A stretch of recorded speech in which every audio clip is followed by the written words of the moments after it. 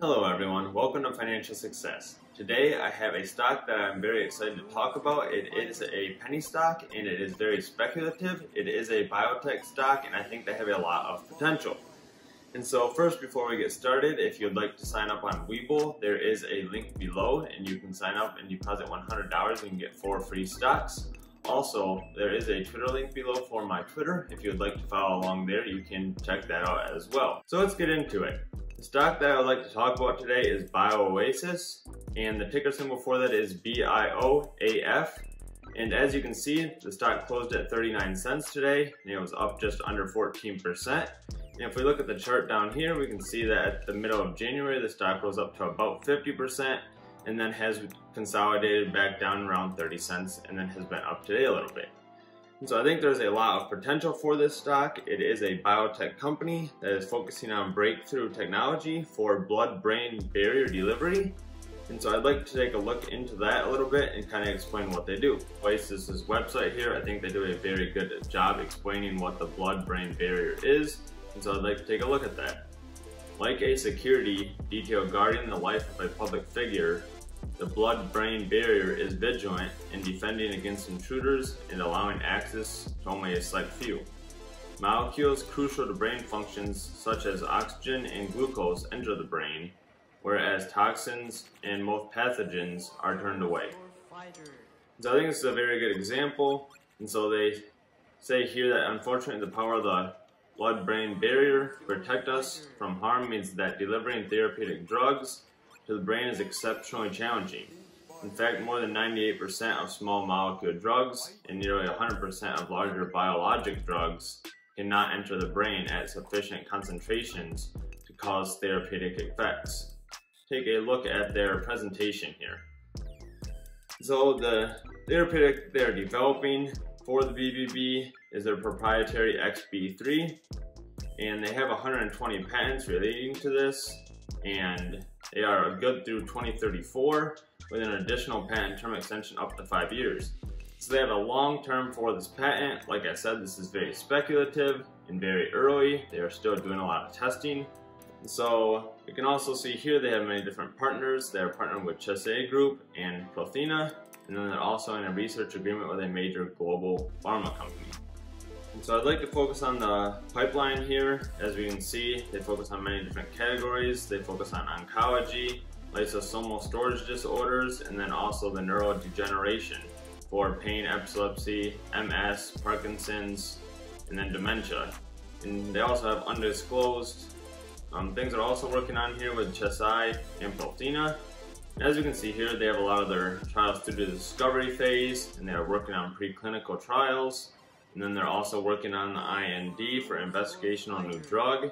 And then they're also doing phase one testing. And so we can see some of these dates here. They're working on a lot, majority of them in Q3 and Q4 of 2021. And then they're also working on this cancer treatment here in Q1 of 2022. And so like I said, this might be a longer term stock, but I think there is a ton of potential with this. And so let's, let's go down here as well. We can see they're partnering that I talked about earlier. They have a strategic alliance with Chiesi, and they have an upfront payment of $3 million. And then they also have an agreement with Prothena with an upfront payment of $1 million. And they also have other options here for $138 million and $33 million with royalties.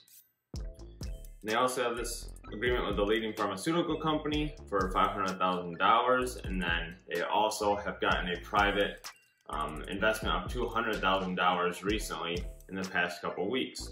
And so I think they have a lot of support and they are gathering a lot of capital and so they can continue the research and investigation they need to be successful.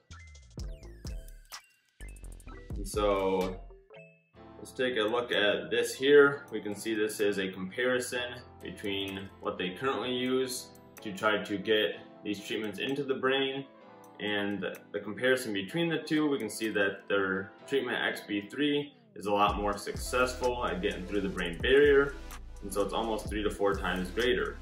So this chart here shows it as well. We can see that these other companies are at about one to one and a half percent, whereas Bio Oasis is at a four to six percent. And so that's the injected percentage into the brain. And so they're very successful with this. And I definitely want to compare this to their competitors. These are different companies that are focusing on the same thing. So I'd like to focus on Denali and take a look at them.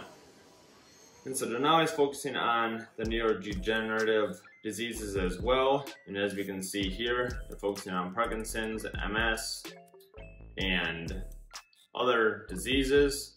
But we can see as well that a lot of their candidates are still in the discovery phase or IND or very early clinical trials. Um, and so they're kind of in the same boat as Oasis, I believe. But I think that this stock is valued at much higher than Oasis. And so let's take a look at that here. And so this stock is on the NASDAQ, it is trading, whereas the other one is over the counter. But this stock does currently trade at about $72.94. And so it's a much larger market cap. I think they have a lot more customers as well. But I think this just shows the potential growth for the other company. So I'd like to look at their future development programs as well. There's a huge market for this, um, especially for Alzheimer's disease. And there's nearly 44 million people that it has affected worldwide. And it is the only disease that causes top 10 deaths in the US that cannot be prevented, slowed, or cured.